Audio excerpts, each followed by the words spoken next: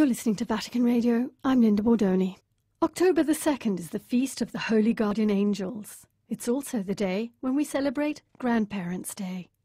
La Festa dei Nonni, as it is called in Italy, was introduced in 2005 with a law that described the observance as a moment to celebrate the importance of the role played by grandparents within families and society in general. At Milan's Expo, the National Day is receiving much attention, as thanks to the Dutch Pavilion, grandparents have been celebrated throughout the whole week.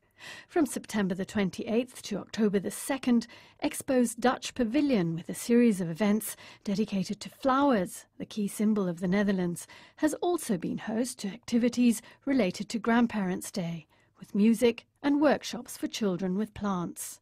A project, Charles Lansdorp explains, that fits perfectly with the initiative, thanks to the bond that flowers and plants are able to create between different generations. I spoke to Charles Lansdorp, one of the initiators of Grandparents' Day and president of the Felini Foundation, which aims to improve communication between generations. I am president of a foundation which is called the Felini Foundation. That's a foundation which started in 2006 in Italy, thanks to a collaboration we had with a Dutch soccer player, Clarence Seedorf.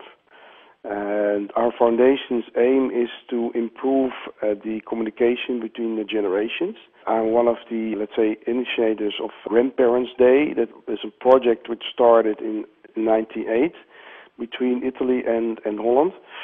And in 2005, that was for us very, very nice. It became a national day installed by the Italian Parliament. And the day is the 2nd of October, which is also the day of the protecting angels. And it's a beautiful thought because it's uh, that the grandparents are actually the protecting angels of their grandchildren. So for us personally, it was fantastic also because it it gave us the opportunity also to, as, uh, with our foundation, to bring this um, special day other to other countries. And um, through our foundation, we have also a special song, which is already in different uh, different languages. And uh, we are now working in the Netherlands. Uh, we started this year also in Germany, uh, Slovenia, Spain, and uh, actually also Czechia is uh, a country which is very interested in this special day. The reason I think personally is also that we see in Europe that the need to bring the generations together is, is getting uh, more and more important because Europe is getting older and we have more and more grandparents and the younger generation needs to stay in contact with the older generation. And uh, we believe ourselves that the older generation has a lot of experience and a lot of things to tell also you see that especially grandchildren love to be with their grandparents because they they uh, love the stories they love to to share things and uh, yeah, we think it's a fantastic uh, project to bring over to uh, to other countries. Well, you certainly have a champion in Pope Francis here. He speaks repeatedly about the need and the importance of including the older generation and of never marginalizing the grandparents. Right. has his words um, given a boost to your, your work?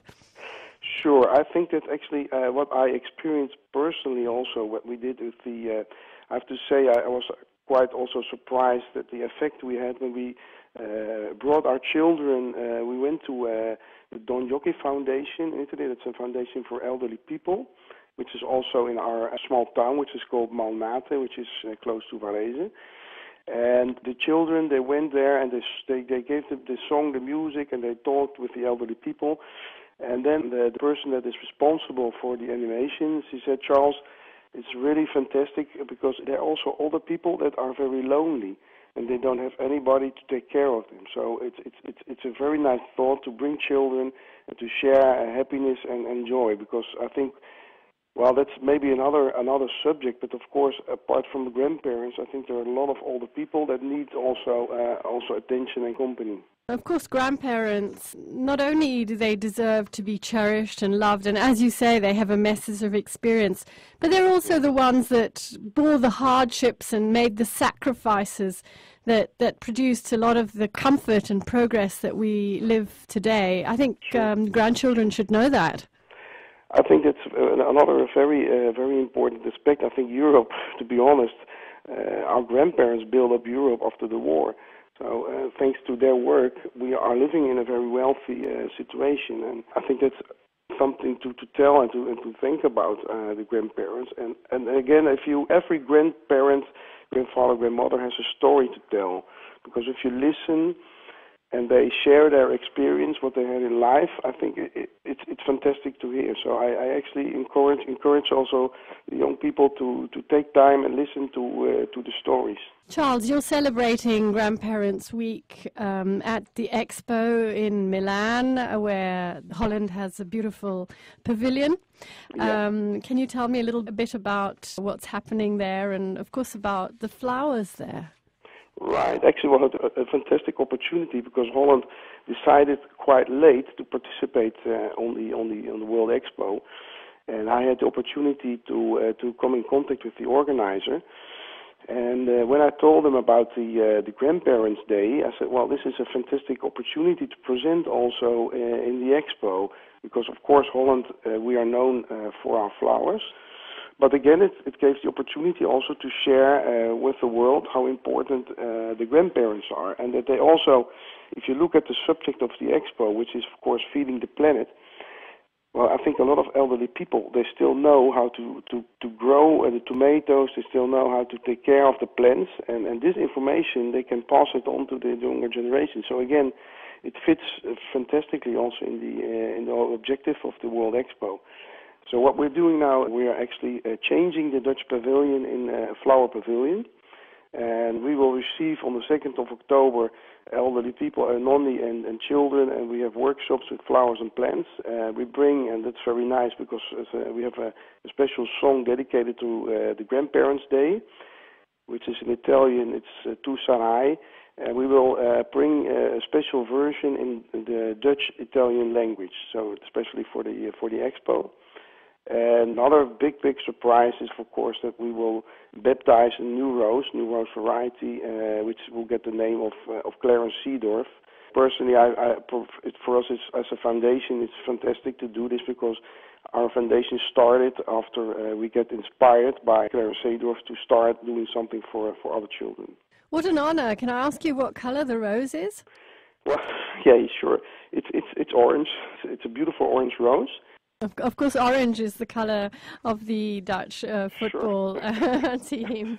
Yeah, it's quite interesting because if you look, I, I did some research, and the color orange uh, means also happiness. It means uh, power, strength, and, and joy. So I think the color uh, orange fits greatly also with uh, with the idea of the Grandparents' Day because it's a it's a color of of autumn, and the second of October is of course in the autumn time and it's a, a, a color of, of happiness and strength. So I thought, well, it's quite nice. It's interesting to uh, to have this color also for for Grandparents' Day. Your pavilion is very close to the pavilion of the Holy See. I saw right. that. I saw that for myself. I understand yeah. you gave the Holy See something very special. It was actually an initiative of I think it's the uh, Austrian Pavilion, that uh, encouraged the other pavilions to give a special gift to uh, to their neighbors. And I was talking with the responsible uh, director of the pavilion because he actually uh, was asking. We were just trying to uh, what would we uh, be nice to give to the Vatican, and I said, of course, flowers, because we, uh, as as Holland, it's already 30 years that we uh, decorate Piazza Vaticano for the Easter Mass. And being also a special Catholic holiday, the 2nd of October, we thought it would be nice to, to give a, a flower gift which expresses the uh, protecting angel. So uh, a Dutch designer, uh, actually she's the Dutch champion of flower design, Indini uh, Holtrop. She made a beautiful arrangement of bromelia flowers, which is a, a South American flower, and she made the uh, the wings of the protecting angels made of uh, bromelia flowers.